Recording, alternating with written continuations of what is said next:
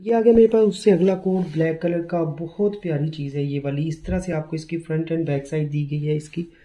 ये देखिए fully sequence embroidered ये जेट ब्लैक कलर है। ये इसकी फ्रंट बैक साइड आ जाएगी। जिसके साथ ये आपको इसके साइड जो है वो पैनल दिए गए सीक्वेंस एम्ब्रॉयडेड ये बहुत प्यारी चीज़ है। ये वाला मेरे पास काफ़ी लिमिटेड है और ये बिल्कुल भी मिस करने वाली नहीं है।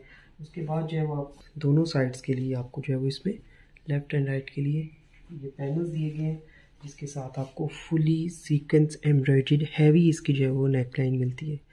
ये देखिए, इस तरह से इसकी फ्रंट साइड होगी, जिसके साथ ये आपको इसकी फ्रंट एंड बैक साइड के लिए सीक्वेंस एम्ब्रॉयड बॉर्डर मिलता है। ये देखिए, ये आपको इसमें ट्राउज़र दिया गया है, ये आपको सीक्वेंस एम्ब्रॉयड इसकी स्लीव्स मिलती हैं। ये वाली इस तरह से आपको इसकी स्लीव्स दी गई हैं। स्लीव्स के साथ आपको ये एक सीक्वेंस एम्ब्रॉयड इसका बॉर्डर मिलता है। उसके बाद आपको स्लीव्स के लिए इसके दो सीक्वेंस एम्ब्रॉयड मोटिव दिए गए हैं। ये इस तरह से। ये आपको इसकी बैक साइड के लिए इसका मोटिव मिलता है। सीक्वेंस एम्ब्रॉयड और ये आप इसकी सबसे खूबसूरत चीज़, इसकी शॉल देखें फुली हैवी एम्ब्रॉयड इसकी शॉल है।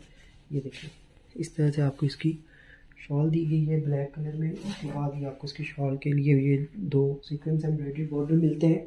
ये आपको इसकी शॉल के लिए जो है वो पट्टी दी गई है एम्ब्रॉयड उसके बाद आपको शॉल के लिए इसके ये कॉर्नर मोटिव दिए गए हैं।